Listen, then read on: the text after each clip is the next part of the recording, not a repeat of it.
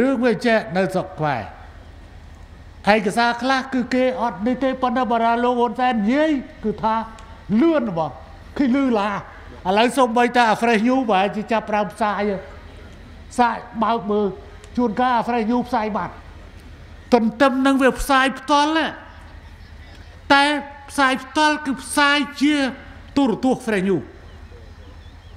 និង Facebook Fresh New ប៉ុន្តែវាមានព័ត៌មានមួយចេញភ្លាមវាយព័ត៌មានជាលេខអក្សរចេញចេញជាខ្មែរចេញជាអង់គ្លេសចេញជាចិនមកអញ្ចឹងវាមានល្បឿនលឿនរបស់វាអញ្ចឹង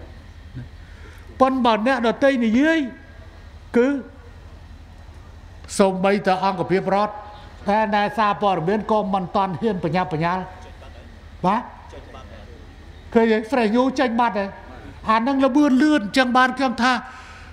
ព័ត៌មានវាត្រូវការលឿនត្រូវការជាក់លាក់ឲ្យត្រូវការលឿនជាអា fresh news វាចេញបាត់ហើយអញ្ចឹងខ្ញុំត្រូវការរបស់ណាដែលវាលឿនអញ្ចឹងគ្រាន់តែនិយាយប៉ុណ្ណឹងគឺនិយាយរួមនៅលើទូទាំងពិភពលោកគឺគេមើលឃើញអស់ហើយពួកអា fresh news វាចេញផ្សាយគេមើលនៅលើពិភពលោក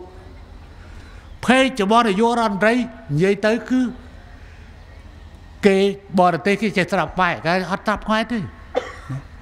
ប៉ុន្តែដោយសារព័ត៌មានវាចេញជាភាសាខ្មែរផងជាភាសាអង់គ្លេសផងជាភាសាចិនផង